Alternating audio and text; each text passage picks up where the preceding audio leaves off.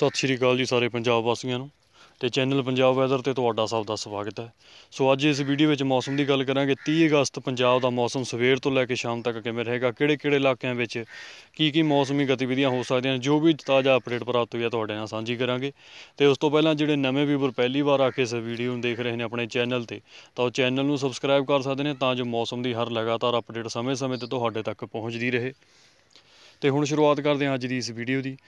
ਜੇਕਰ ਆਪਾਂ ਪਹਿਲਾਂ ਸ਼ੁਰੂਆਤ ਸਵੇਰ ਦੇ ਸਮੇਂ ਤੋਂ ਕਰੀਏ ਤਾਂ ਸਵੇਰ ਦੇ ਸਮੇਂ ਲਗਭਗ ਜ਼ਿਆਦਾਤਰ ਪੰਜਾਬ ਦੇ ਇਲਾਕੇ ਵਿੱਚ ਮੌਸਮ ਸਾਫ਼ ਰਹੇਗਾ, ਪਰ ਪੂਰਬੀ ਸਾਈਡ ਤੋਂ ਇੱਕ ਬੱਦਲੀ ਸਿਸਟਮ ਜਿਹੜਾ ਹਲਕੇ ਤੌਰ ਤੇ ਪੰਜਾਬ ਵਿੱਚ ਦਾਖਲ ਹੋ ਰਿਹਾ ਸੋ ਜਿਸ ਦੇ ਪ੍ਰਭਾਵ ਵਜੋਂ ਆਪਾਂ ਨੂੰ ਪਟਿਆਲਾ ਤੋਂ ਲੈ ਕੇ ਸੰਗਰੂਰ, ਮਾਨਸਾ, ਬਠਿੰਡਾ ਤੱਕ ਦੇ ਬਰਨਾਲਾ, ਫਤਿਹਗੜ੍ਹ ਸਾਹਿਬ ਤੋਂ ਲੁਧਿਆਣਾ ਤੱਕ ਦੇ ਇਲਾਕਿਆਂ ਵਿੱਚ ਬੱਦਲਬਾਈ ਦੇਖਣ ਨੂੰ ਮਿਲੂਗੀ, ਜਿਹੜੀ ਕਿ ਹਲਕੇ ਤੋਂ ਲੈ ਕੇ ਦਰਮਿਆਨੇ ਰੂਪ ਤੱਕ ਰਹੇਗੀ। ਸੋ ਇਹਨਾਂ ਇਲਾਕਿਆਂ ਤੋਂ ਬੱਦਲਬਾਈ ਅੱਗੇ ਵਧਦੀ ਹੋਈ ਹੋਰ ਪੰਜਾਬ ਦੇ ਇਲਾਕੇ ਜਿਵੇਂ ਲੁਧਿਆਣੇ ਤੋਂ ਬਾਅਦ ਜਲੰਧਰ ਹੋ ਗਿਆ ਤੇ ਇਹਨਾਂ ਅੱਗਿਆਂ ਤੱਕ, ਅੱਗੇ ਇਲਾਕਿਆਂ ਤੱਕ ਵੱਧ ਸਕਦੀ ਹੈ। ਤੇ ਇਸ ਦੇ ਨਾਲ ਨਾਲ ਪੂਰਬੀ ਹਵਾਵਾਂ ਦੀ ਵੀ ਵਾਪਸੀ ਹੋ ਜਾਵੇਗੀ, ਜਿਹੜੀ ਹਲਕੇ ਤੋਂ ਲੈ ਕੇ ਮੱਧਮ ਰਫ਼ਤਾਰ ਤੱਕ ਚੱਲਣਗੀਆਂ। ਜਿਵੇਂ ਕਿ ਕੱਲ ਪਿਛਲੇ ਦਿਨ ਲਗਭਗ ਨਾ ਮਾਤਰ ਹਵਾਵਾਂ ਚੱਲੀਆਂ ਸਨ, ਤਾਂ ਅੱਜ ਹਲਕੇ ਤੋਂ ਮੱਧਮ ਰਫ਼ਤਾਰ ਤੱਕ ਹਵਾਵਾਂ ਚੱਲਦੀਆਂ ਰਹਿਣਗੀਆਂ ਪੰਜਾਬ ਵਿੱਚ।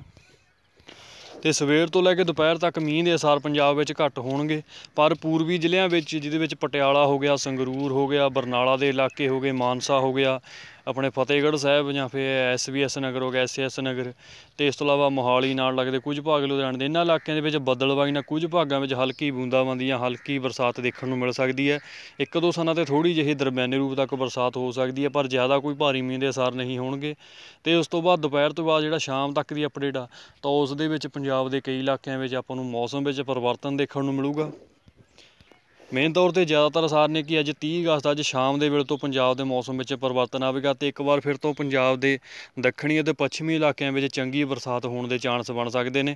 ਤੇ ਜਿਨ੍ਹਾਂ ਦੇ ਵਿੱਚ ਮੇਨ ਤੌਰ ਤੇ ਪੰਜਾਬ ਦੇ ਜੋ ਇਲਾਕੇ ਹਰਿਆਣਾ ਤੇ ਰਾਜਸਥਾਨ ਦੇ ਕਰੀਬ ਪੈਂਦੇ ਨੇ ਤੇ ਉਧਰੋਂ ਪੱਛਮੀ ਜੋ ਪਾਕਿਸਤਾਨ ਦੀ ਸਰਹੱਦ ਦੇ ਨੇੜੇ ਇਲਾਕੇ ਪੈਂਦੇ ਨੇ ਤਾਂ ਉਹਨਾਂ ਇਲਾਕਿਆਂ ਵਿੱਚ ਮੀਂਹ ਪੈਣ ਦੇ ਹਾਲਾਤ ਹੋਣਗੇ।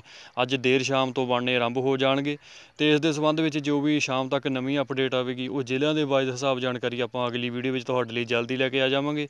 ਤੇ ਬਾਕੀ ਜਿਵੇਂ ਜਿਵੇਂ ਨਵੀਂ ਅਪਡੇਟ ਆਵੇਗੀ, ਉਹਦੇ ਹਿਸਾਬ ਨਾਲ ਆਪਾਂ ਜਾਣਕਾਰੀ ਤੁਹਾਡੇ ਨਾਲ ਸਾਂਝੀ ਕਰਦੇ ਰਹਾਂਗੇ। ਸੋ ਉਦੋਂ ਤੱਕ ਲਈ ਇਜਾਜ਼ਤ ਦਿਓ ਤੇ ਲਗਾਤਾਰ ਮੌਸਮੀ ਅਪਡੇਟ ਲਈ ਚੈਨਲ ਪੰਜਾਬ ਵੈਦਰ ਨਾਲ ਬਣੇ ਰਹੋ। ਧੰਨਵਾਦ ਜੀ।